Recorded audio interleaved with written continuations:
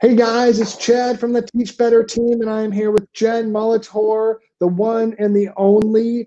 Um, tonight, we are here to answer your questions. We are here to help you with your grid inquiries. Um, and we are just here to see how you guys are doing. So, how are you doing tonight, Jen? Doing awesome. Summer. so Jen just shared with me. Um, she's the, a brand new principal at a school, and she's actually doing this live from her brand new building. So Jen, does it feel good to kind of be settling into your new building, get to kind of unpack your stuff and kind of lay your roots a bit? Absolutely. I painted a wall, and I'm putting my my room together, so it feels feels great.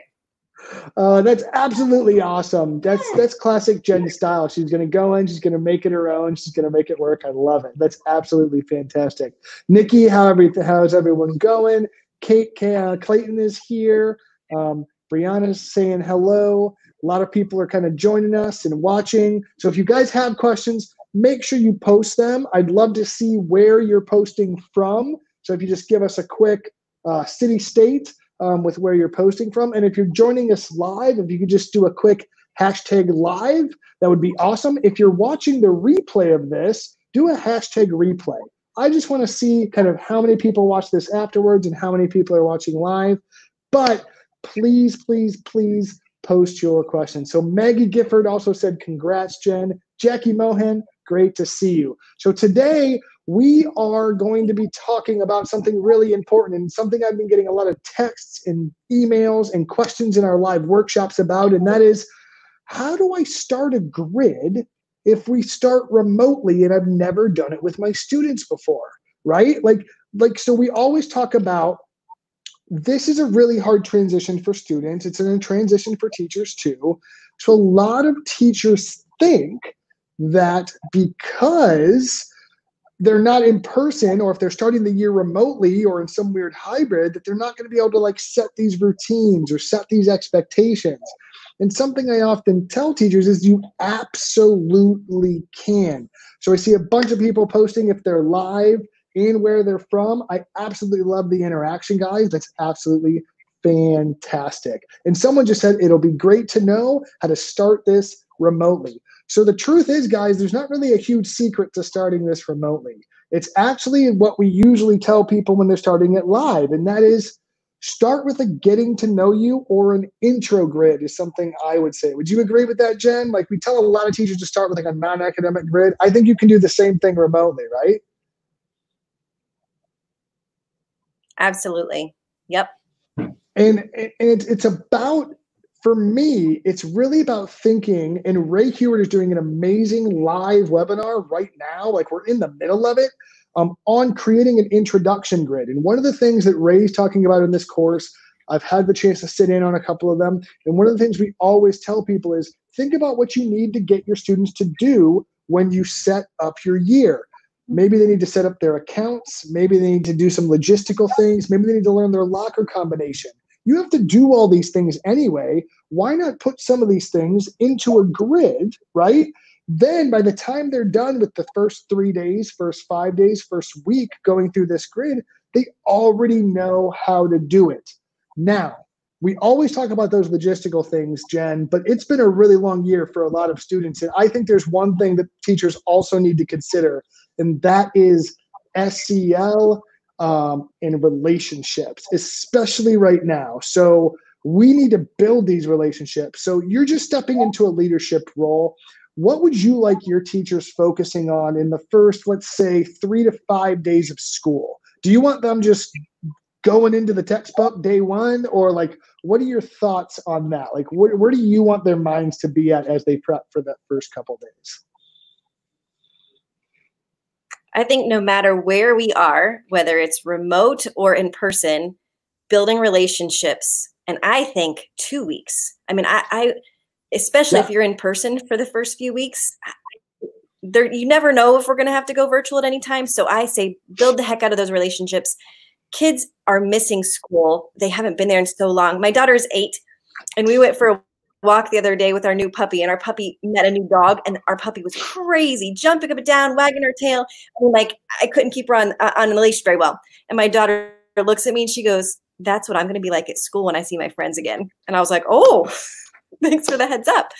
So, you know, when kids come back, like they're going to be like running in maybe like puppies. I don't know when they see each other. So I think just really finding out where they are and building those relationships, loving them, um, just building the case that you are there for them, whether it be, you know, we're going to do some academics, but I'm also here as your teacher and I want to get to know you too. So super important. So Danielle just said she's attending Rae's intro class and she's been able to get some great ideas on how to start the year right. And really it's about starting any year, right? Whether you read Wong and Wong first days of school or you you're doing something a little more innovative and maybe a little more new, even though like Wong and Wong right here. You still have to build those relationships because the truth is, and I know you know this, Jen, um, kids don't learn from people they don't like. I mean, like, like that's just the honest truth, right? Um, we have to build those relationships. We have to build that trust. And I also love now that, like, from this leadership perspective, giving your teachers the go ahead to take the first two weeks to build those relationships, to reform those bonds. Because think about it like that. And you brought up a great point. You don't know if you're going to have to switch directly back to remote learning like in three weeks. Like, we don't know if that's going to happen. So, if you don't build those relationships as fast as possible and as efficiently as possible, you may not get to build them in person, right? So, I really, really love that you're you're focusing on that. Um, so Mark Horner says it's definitely going to be uh, strange. Almost have to teach our students new ways to connect and communicate. Absolutely. So Mark Horner, I'm going to call you out a little bit, buddy. Um, in our um, Teach Better Ambassador Voxer channel, Mark threw out this awesome question. And Mark is a fantastic teacher. I love how passionate he is. He's always pursuing better. The guy lives the Teach Better mindset. I absolutely love it. And if you can catch his live videos, about like winning the morning. They're absolutely fantastic. So shout out to you, Mark. But Mark asked the question. He goes, I love high fiving students and kind of like chest bumping with my students and giving them hugs when they need it, kind of things. Like, like, and I was the same way as a teacher. Like, but when it was appropriate and when it made sense, like some of the some of the kids I taught never got hugs or high fives at home, right? So like that was the only one they were getting. But now we have to stay six feet apart. So, like, what do we do when we can't kind of keep those connections? Um, and, and I think that was a really great question that he posed. Do you have any thoughts on that? I have a couple thoughts, but I'd like to hear your thoughts. Like, if you normally are a high five or handshake teacher, like, are there any other ways? What are some ways you'd like to see teachers connecting with students in those first few weeks? I like the idea of giving a kid the kids a choice. You know, I, have seen all these little welcome videos with how to greet. Um, there's some different things going around, like giving a peace sign or a special signal, um, or even mirroring each other. You know, somebody does a funky move and you do the same move. Um, just, yeah. but something that makes the kid like you. I get you, and that's something that that makes me feel like you understand me and care about me. I love it. I absolutely love that. And that was actually really similar to the conversation we were having when that question was posed. It was like, even if you can't give them an actual high five, maybe um, I think it's them knowing you want to connect that's the important part, right? So, like, we're all aware of the situation we're in. Regardless of the age of the student, they know something's different. So, you going up to a student and go, I just want you to know I'd love to give you a high five every single day. I'd love to give you a hug. I'd love to bump elbows or do all that stuff, but I'm I'm not allowed. But instead, you know what? We're going to do some air high fives. Can everyone do an air high five? Or maybe figuring out a different little dance to do six feet apart uh, from each student. Like something that's like allows you, like you said, Jen, to connect with those students. Because I think it's really about them knowing them knowing that you want to connect, them knowing that you wish you could connect more so that they can kind of break down some of those walls. After that, it's about just having fun with it and breaking down some of those barriers. So I think so, eye contact is really important too. Oh, yeah, especially if, if we're like this. Oh. Right? Mm-hmm. Like, yeah. Absolutely eye contact. So so Kim McBriar said she watched the end of the the Pirates game and they did foot bumps. And I love that. The Indians did it as well. I'm actually a Pittsburgh fan, Kim, so shout out there. Um, but I think that there, there are ways to respect the guidelines there are ways to um, kind of work through these things and still connect with students. But remember like you're connecting with your students on an emotional level. It doesn't have to be on that physical level necessarily. Even when you when you look them in the eye like you said when you hear them when you give their voices value and when you listen when they need you to like those are just as effective as high fives and hugs any day especially if you're making those things um, uh, very explicit for your students. Okay. So Danielle says she likes the special signal idea. Um, I know I'm going to miss my secret handshake of the year. So Danielle, let's talk about a secret handshake of the year. So instead of your secret handshake of the year, imagine if you did like a secret COVID dance, right? Like it can still be it can still be that secret between you and the kids. And jen correct me if i'm wrong but it's really just about to me at least the connections right? It's really just about establishing those connections. And we can even give air hugs. I think kids would think some kids you know depending on the level would think that's cute yeah. to give them a little air hug. Like come on you know? You know what? I think some middle and high schoolers think that's cute too. So i'm just saying like I'm telling you, I taught middle school for long enough. Like those kids still need connections. They just can't tell you they think it's cool to connect. Like that's the difference, right? They still crave it just as much. They just won't tell you that. So you have to kind of break it down. Kim said Pittsburgh played Cleveland. So when it comes to baseball, Kim, I'm actually a Pittsburgh and a Cleveland fan. Um, just a little cat out of the bag type thing, but I root for all of Pittsburgh sports. Um, so Livia Chan said um, she's just jumping in, and we all need to smile and express uh, in our eyes, especially if we're wearing masks. Okay. So, one cool thing I saw that healthcare workers are currently doing, and I thought this would translate really well into education, is they're wearing buttons with their faces on them.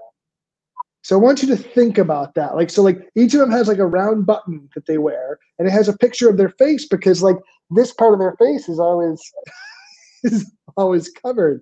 Um, so I really, really just uh, uh, think about that uh, a lot. We do kitty waves, like uh, the kitty statues, like this. I think is what she's talking about. I think that's what Kim is talking about. So someone really liked the photo pin idea. Um, I think that's a viable idea. I don't know. I don't know. It feels like a good idea. mm-hmm. Like so, I, you know, something I think, I think it was Livia was saying about smiling. Talking over you. Um, so when we, you know, we have a mask on. I I um, saw a post about a mom who's teaching her daughter uh, what it looked like when she was smiling so she would, you know, she'd say, look at my eyes. This is me. I'm not smiling. And now look, like look for the creases in the eye. So just teaching them some of those cues to let them like, I'm so proud of you, you know, something like that. So to read our eyes a little bit more to get our expressions. Yeah, absolutely. Um, and I think like I think what all this comes back to to me is really being explicit about these things. Being explicit about the fact that you wish you could do X, Y, and Z, but you can't. So we're going to work on this, the next best thing we can do, and we're going to make the best of it. So Beth Moore, who's an awesome uh, music teacher, um, said that her mask has a smile on it. Beth, that's awesome. I absolutely love it. Um, it's really hard to give a teacher look right? When your mask is smiling at the kid all the time, right? I'm just maybe depending on the, on the mood, right? Just like mad eyes, happy happy face. That would be kind of funny. Shannon Bogle says, "Can I put a Julia Roberts picture on my button?" Shannon, you do whatever you want. You do you, Shannon. All right. So I think we've talked a lot about a lot about kind of how to connect with students from an SEL standpoint. But I also think we do need to talk about some of those logistics, right? So once those pieces are in yep. place, once you've connected with those students and you want to start your grid, which you can get to know your students with some of the activities on your introduction grid. You could have them do interest surveys. You could have them play fun games. You could have them tell interesting things about themselves. You could have think, pair, shares, um, all, all sorts of things like that. But you also want to think about this is something I've been preaching a lot, and I, I, don't mean to beat this dead horse, but I think it needs beaten just because of how important it is. We need to plan for the most restrictive environment, and we need to prepare our students to thrive in that environment. So I think if I think every teacher should be planning to need to go to remote at some point next year. We don't know when it's going to be, if it's going to be, depending on your area, right? But if your students are going to need to set up Google Classroom, if they're going to need to turn in documents, if they're going to need to know how to type emails. Like those are also things you could put in your introduction grid. So you could easily create a task on your grid, something like write me an email and tell me about your summer. You know what I mean? And then click send. And once you send it, you're done with that box. You've proven that you can do it. And then, because I see teachers all the time that they're like, my kids would write the email in the subject line. you know what I mean? Like, weird stuff that we don't think about. But if you take the time to explicitly show them how to set up their vocabulary account, how to set up their Google Classroom, how to access parts of their textbooks and things like that, you could build all those things into that grid. So by the time you're done with it, they are ready to go, right? Absolutely. And Jordan Amy says she's looking for ideas for gauging kids' emotional states while virtual. So, you know, when we talk about when we have the kids and we want to build those relationships, so if we're virtual when we're starting, I'm thinking of um, having small group Zoom sessions or even one on one, you know, where you get build that relationship with the kids and say, listen, I'm here and I know this is so funny because we're on a computer, but here are some things you can expect from me and just set that stage and let them know how much you care and say if you ever need me here's some ways that you can reach out to me if you're feeling worried or scared or nervous give them all of those resources and i think you can do that whole group or if you feel like there's some kids you may want to check in one-on-one then you know I, I, would set that up but i think as far I, I don't don't know. I, I, agree with you. I don't know that I would do a Google form depending on the age, but you can absolutely do small groups with Zoom or one on one. So just wanted to throw that out there. Absolutely. So Jordan from Fort Worth, Texas, just just signed in. I think you just mentioned her. She even said hashtag live, which I absolutely love. So once again, tell us where you're viewing from and put hashtag live or hashtag replay. That way we just know where everyone's coming from. Or if you watch this tomorrow morning, then we know that too, so we can reply. So um, absolutely. So Van Scott just said, Hey, Van, I hope you're doing fantastic tonight, sir. Um, so another thing to think about, I think, is uh, the in terms of those emotional stages. There's a ton of apps that can can be used. Things like Flipgrid survey questions, things like Seesaw videos, um, all sorts of like options. There are also some specific SEL tools that will allow students to tell you like emotionally where they're at.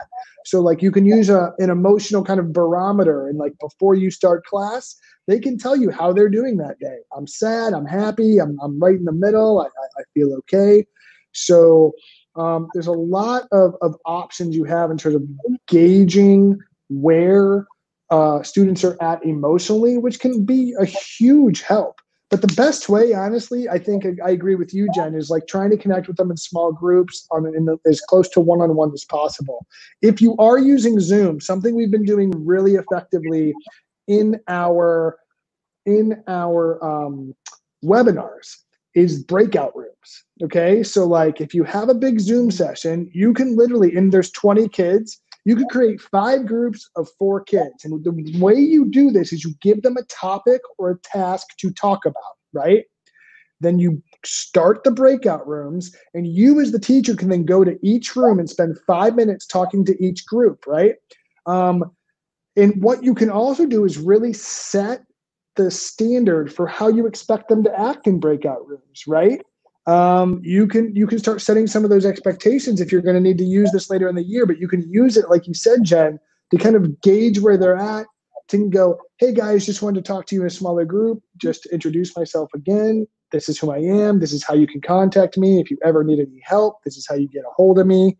And I think that's great. So just so you know, Jen, we have Canada, Providence, Rhode Island, Los Angeles, California, Billings, Montana, and I'm pretty sure Van Scott's in Florida. So we got like this is a national live we're doing right now. Uh, actually, international if you count Canada. Um, thanks, Lydia, by the way. Um, so that's pretty cool. Um, so what else could you put in an introductory again? Like if I'm a teacher right now, going, I have my first unit done. Um, what else can I think about putting into an introductory grid? Like, what are those first week, second week type things you want to do with your students?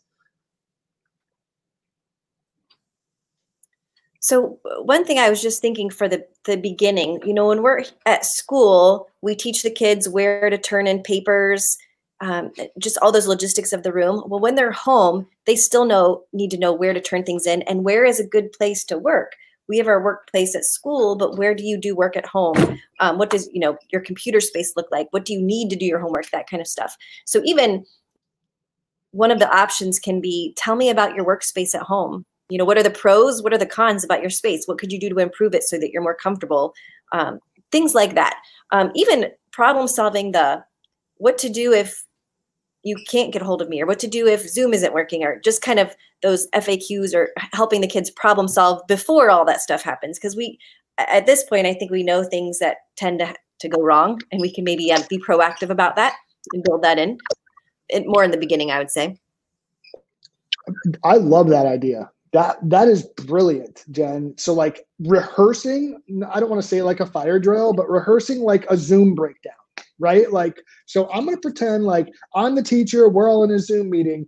I'm going to pretend like everything shuts down and I'm going to sign everybody out. Can we all get back in within five minutes or two minutes or whatever it is? You can even make it like a game. Like, let's pretend like Zoom shut down. What do you do? Always use the same link. I'm going to open up the room. Like, you know, like figure all that out um, so that they can, they can be successful. Right. Um, so I love that. Like rehearse the unexpected so that when it does happen, they don't freak out and go, well, I guess I'm done for the day. yeah. You know, all those questions that they, that kids and parents had before, you know, like parents, how much should I help my kids with homework? Um, so even like setting the stage with kids. So you're stuck on an assignment you know if you ask your mom she's going to get upset because she doesn't know how to help you or she doesn't know that way. What do you do? So even brainstorming things like that so that at home the relationships aren't bad you know? Because you've got these yeah. parents that want to help and but if kids know you know this my teacher said this might happen. Here's some strategies i can use. Absolutely. I also think along with that jen thinking about thinking about sort of your communication strategy and making explicit like when you're going to communicate and when you are not going to communicate right? So i think a lot of teachers felt like and you guys can tell me if you uh, if you agree in the comments or not here um, and if you're just joining us put hashtag live. If you're watching this on the replay put hashtag replay. Um, so if if you don't tell your students when you won't respond you're increasing their stress level. If you don't tell your parents when you're not going to respond you're increasing their stress level so it's really, really important. Okay. It's really, really important that you go after six o'clock, no one's getting an email back. I don't care what it says. And I will start answering emails maybe an hour before school starts. So, like 8 a.m. or something like that. Like what, whatever that is for you. You know what I mean? Because if you don't set that standard, if you don't set that standard, you're going to be working 14 hour days, right? Like, like you're just not going to be able to turn off because you're going to set so what I, I, guess what i'm telling you and this is actually um, this is actually a, uh, a good tip for for for anyone um, that deals with outside people. It's like set the expectation for how and when you will communicate. If you respond to everything immediately you will ex- be expected to always respond to things immediately. So if like so it's just one of those things make sure your communication strategy is consistent and make sure that you're you're not being unrealistic because you don't want to start the year and be replying to everything in five seconds and then staying up till midnight. Now all of a sudden everyone thinks you're going to do that all the time. You want to set those expectations and be very very clear about what those standards are. And that's honestly jen to me that builds more trust right? Like I know that I know that we want to uh, respond immediately and we want to be responsive to our students, but like when we can't do that and they think we can, we create stress and we create distrust. But if we tell every student, if I say, Jen, if you email me at 807, I am not going to email you until 7 a.m. the next morning. You're not, there's no way you're getting an email back. So just don't look for it. Don't think about it because you don't have to worry about it now. Um, so I don't know. So that's, um, to me, that's really important, like setting those uh, communication parameters and what's to be expected. So another idea for a box on your intro grid or one of the first grids is to have the, the kids read your the expectations you have for yourselves or what they can expect from you. You know, I promise I will always be available on Tuesdays and Thursdays between 12 and 3. Love I promise. I'll always have a Zoom meeting. So all the things to expect from me. And then their assignment would be what can I expect from you? So I promise that I, you know, those kind of things so that we have this way you can expect and I can expect and we agree upon that. Oh, yes. So much awesomeness in that, right? Student teacher contracts, um, setting those expectations, having them be a part of that conversation, right? And I love what you just said. You said expectations. You did not say the R word, which is rules, because students do not need more rules. Yeah. They just need expectations. And I think this is a huge misconception, right? Teachers think that they can't smile till Christmas and they need to set all the rules day one, super harsh. However, that's a very teacher centered way to look at it, right? Like that's a very just like top down, this is my room, this is how it goes. And like for a long time, that was sort of like the way to be as a teacher for, for like like you know for the better part of a century, right? Um, but now, as we're looking at these SEL needs, if we're looking at student ownership and and student uh, uh, centered classrooms. Mark Horner loves your idea, by the way, which is awesome. Um, it's one of those things where like they need to have a stake in that, right? Like if your expectations for them and their expectations for themselves are totally misaligned, you're not going to be happy all year. it's going to be the longest year ever. But if you, I love that because if you establish that in the first two weeks of the year and you go, hey, I messed up. I wasn't meeting my expectations. And you show them you can be vulnerable. You show them that you're not perfect. The hope would be you're modeling that, right? So then when one of them isn't meeting the expectations, instead of jumping all over them, instead of getting angry, you can simply go, you know, I'm really disappointed you're not living up to the expectations we set. So let's talk about how we can do that next time. Or is there a reason that is there something I didn't do to meet my expectations that caused you not to perform at your best, right? So like having those dialogues, I think is huge. And I love that, Jen, um, that you really want to focus on opening that dialogue from day one. That's absolutely fantastic. Yeah. And I think it's fun when the kids know that they can expect things from you. You know, even though I'm the teacher, I'm yeah. in charge, you can expect things from me. And here are the things that I'm I'm going to be offering to you, just like I'm going to expect things from you. So they know it's a two way street. Yeah, I, I I used to do something similar with my own students. Like what I used to kind of poll them at the beginning of the year, and I'd say like, what are the non-negotiables for me? Like what what is it now?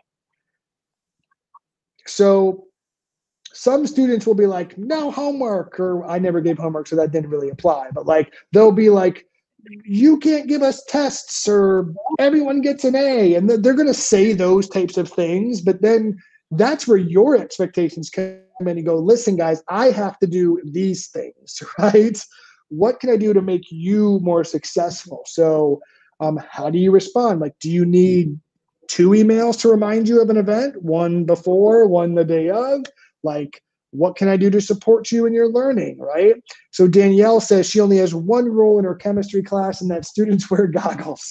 Um, and they'll be expect, expected to participate and observe from a safe distance. That's a good rule to have. Rules are okay if they're for safety, absolutely, because setting an expectation that they're going to be safe and being very specific about rules in a science lab are two separate things. So Danielle, I'm totally cool with those rules as a science teacher myself. Um, I totally understand why that's important. Absolutely. Absolutely. So we're getting to about 30 minutes here, Jen, and we've covered a lot of stuff. So what I'd like to do, since we have so many people watching from basically everywhere, and if you're watching live, just put hashtag live. And if you're watching this on the replay, put hashtag replay and tell us if you're just joining us, where you are joining us from. But I'd like to open it up to a little bit of a Q&A, okay? Um, so, do you guys have any questions about getting the grid started? And while we're waiting, do you have any final thoughts, Jen? Um, that and while we're waiting for some questions, if there are any, do you have any final thoughts on kind of starting this weird, uncertain year?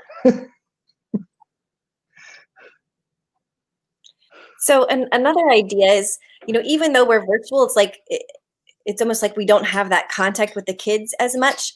So an idea for just giving them something tangible when we can't be in the same presence together is mailing them something mailing them a little card, a little piece of candy. I mean, just like and we're in class, we want to drop them something. We can send them an air hug. We could send them a new book or something if they whatever was, was something they needed to achieve at a certain level like just dropping that's kind of old school right sending them a little package or a little note that says hey i'm thinking about you you worked really hard i think that will that will just up the ante. You know, that will just improve that connection and that the tangible piece, I think.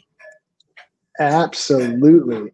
Absolutely. So, wow, I just had an amazing question come in and I, I want to talk about it, but I also want to talk about from a leadership standpoint, that's important too. Like sending that stuff to teachers, I think is super important. But teachers connecting with the families with a physical card, little handwritten note, it goes a really long way um, long, further than you probably think, right?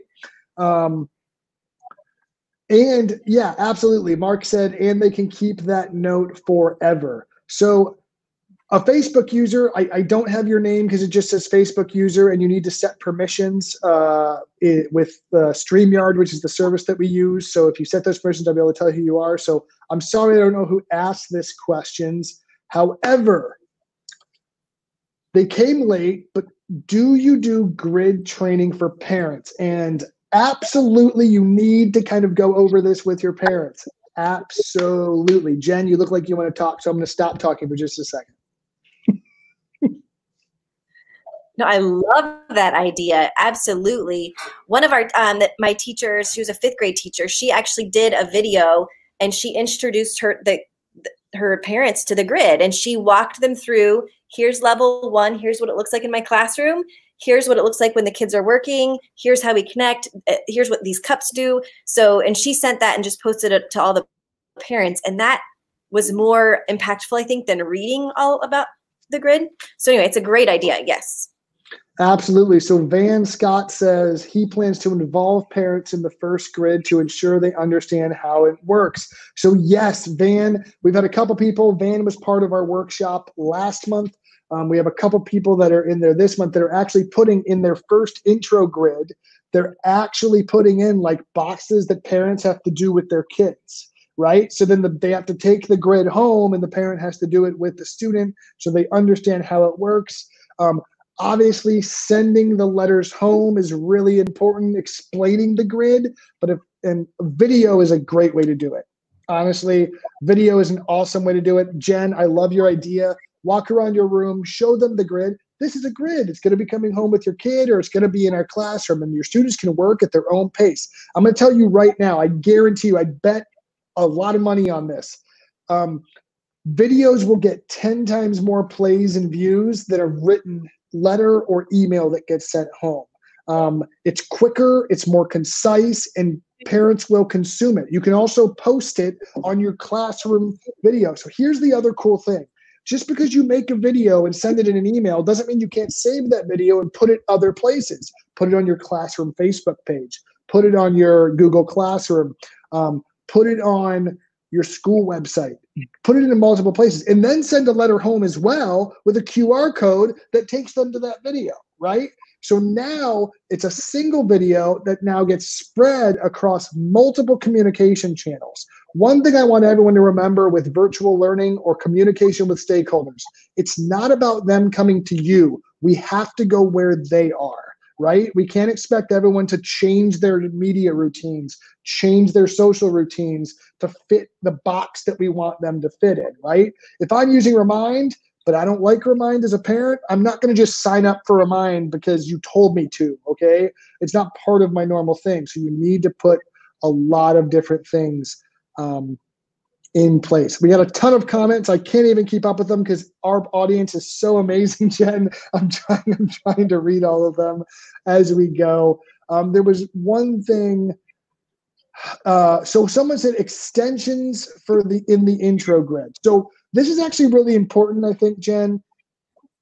Teachers can reduce their stress when they're making their intro grid a little bit. It doesn't have to necessarily be perfect DOK it doesn't necessarily have to have that level five extension. Maybe it's three levels, right? Maybe it's like a really short mini baby grid and like that's okay. Mm-hmm. So I know that like in the workshops, in the training, wherever you kind of learned this methodology from, whether I told it to you or not, um, wherever you kind of learn this from, you're probably thinking, well, is that DOK level one or two? Like relax with that when you're making your when your first intro grid. Like I'd like it to increase in complexity. That'd be nice, but it like it doesn't have to be perfect. You can like just just back off. Like it's it, relax a little bit with that stuff, right?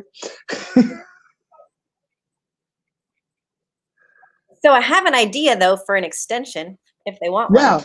Maybe I should have answered the question. That would have been probably better, huh, what well, would be an so I agree with you. Yes, I think that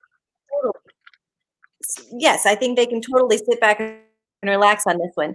Um, you might have some of those really speedy flyers who need something. So True. one of the higher levels could be um, they teach their parents how the grid works. So design a little mini lesson for your parents to teach them how the grid works.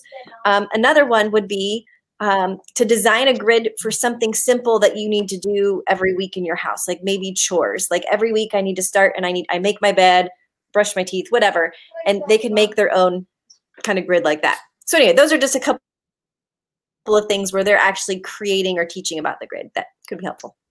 Absolutely. Absolutely. I love that. Um, so Jean uh, Brandt just said, is there an example grid somewhere? Is there an example intro grid? So here's kind of the deal with the intro grids. I can show you an example intro grid, but it's not going to work for you. Okay. So like like because every single person has a different style. Every single person does different things has different accounts they want people to set up. Um, we don't have a ton of them. There are some in the fa- private facebook group at teachbettergroup.com um, there are a couple floating around in there but i'm going to be telling you right now that like looking at one of these is pretty standard across the board think about the things you do in the first two weeks of school and then apply that to a grid. Like that that's the basic ideology behind, an introduction grid. It's much less stressful than designing a content grid. It should be a little fun as you think about how you want to get to know your students and the activities. I know for me like like uh, edmodo or my learning management software was really important a lot um, and, and, so I'd have my students set up their accounts and do a fake quiz that told me about themselves and things like that. So um, it's really simple. Don't stress about the intro grade, but just make it purposeful, right? Think about what you normally do in, in, in the beginning of the school year.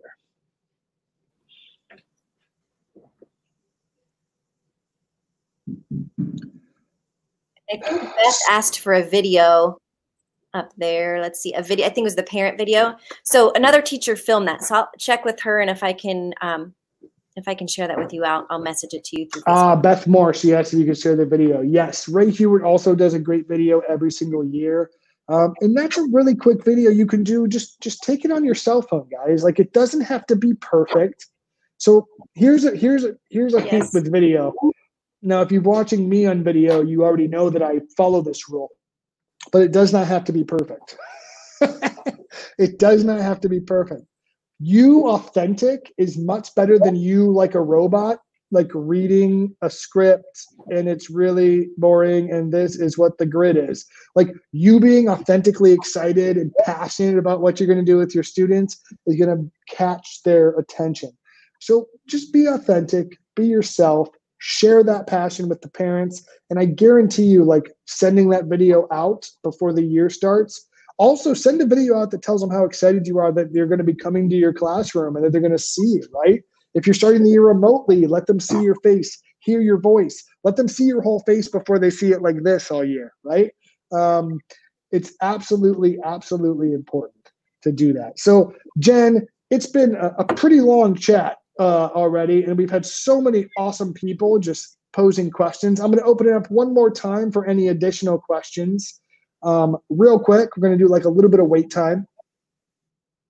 I'm just joking.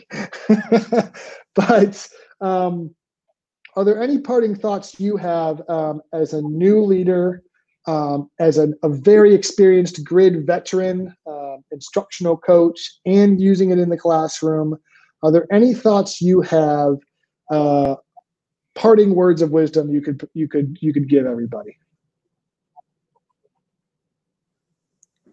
This year is going to be different, and the kids are going to bring anxiety and worry from their parents, from their families, from their own anxiety from not being in school, or just just this overall worry about the world right now.